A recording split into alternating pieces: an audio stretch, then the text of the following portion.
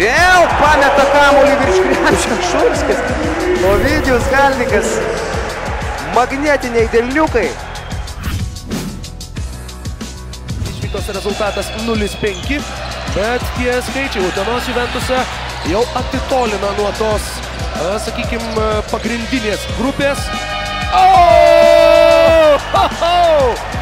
Paulius Vailinskas, jeigu nori priminti apie save rungtynėse, atlik tokį metimą. Neįtikėtinai iš aikštės vidurio